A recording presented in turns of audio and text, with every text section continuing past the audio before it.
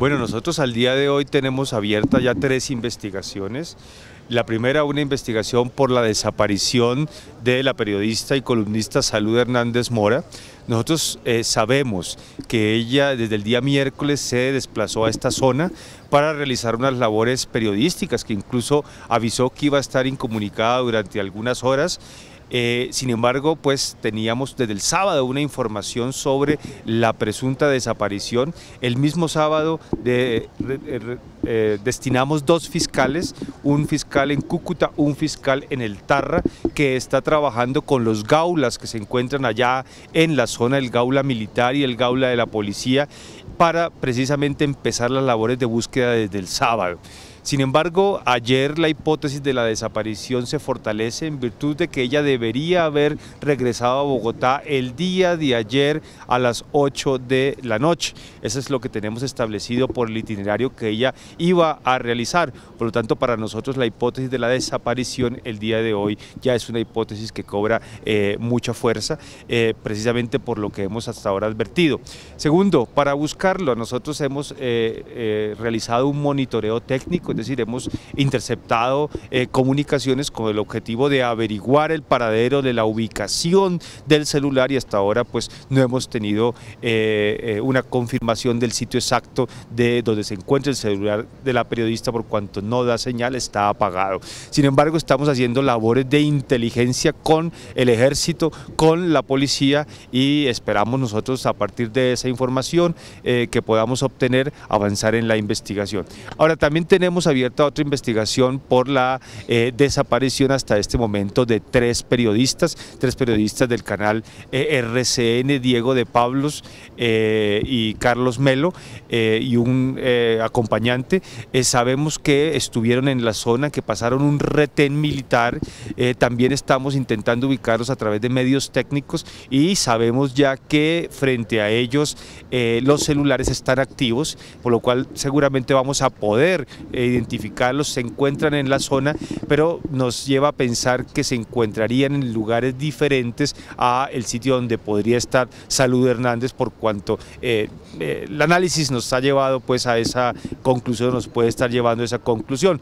También tenemos la tercera investigación abierta por la retención legal o secuestro del periodista Velosa del de, eh, canal Caracol que vamos a también a tomarle una entrevista para ver cuál fue, qué fue lo que sucedió, sin embargo ya también la investigación frente a ese secuestro se encuentra abierta en la Fiscalía. Es decir, nosotros desde el primer momento, desde el mismo sábado, cuando se advirtió la posible desaparición, hemos empezado a trabajar con la policía, hemos enviado un equipo desde aquí, desde Bogotá, tanto para que apoye al gaula militar como al gaula policial y tenemos dos fiscales destinados, uno en Cúcuta y uno en el Tarra, precisamente para avanzar en estas investigaciones.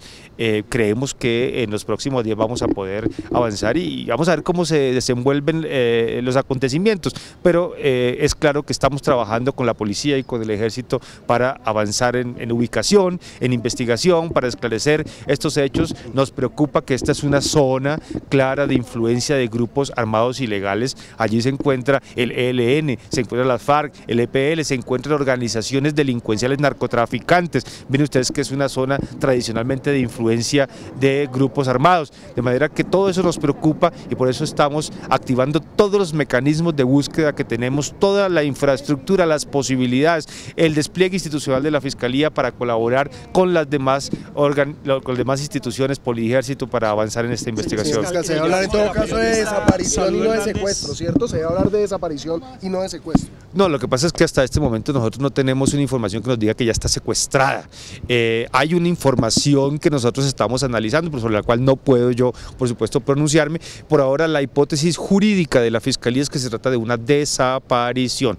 Eh, y en la medida en que conozcamos más hechos, eh, soportemos de mejor forma la información que empieza o está apareciendo, esta noche ha sido una noche de, de trabajo de inteligencia bastante intensa y esperamos nosotros en las próximas horas eh, poder eh, soportar cualquier tipo de eh, información que vaya apareciendo. Por ahora, nuestra hipótesis jurídica en la Fiscalía es que es una desaparición. Tan pronto tengamos una evidencia contundente de que puede estar secuestrada, pues así lo daremos a conocer. En el caso del periodista Velosa del canal Caracol, ¿qué información se tiene? que ya sería, digamos, digamos, un ¿Está claro esa situación? Sí, nosotros sabemos que él fue, él eh, fue retenido en la zona, y fue retenido en la zona, eh, al parecer, por un grupo armado ilegal, según es lo que vamos nosotros a tomar la entrevista a él. Creo que los fiscales en este momento están avanzando en esa, en esa situación.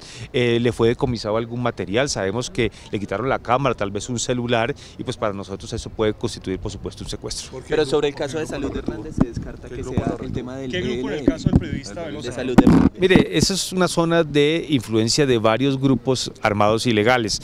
Eh, hay mucha información, hay especulaciones. Yo no me atrevo en este momento, hasta el momento, a dar una información oficial, por cuanto eh, creo que debemos esperar cómo avanza la investigación.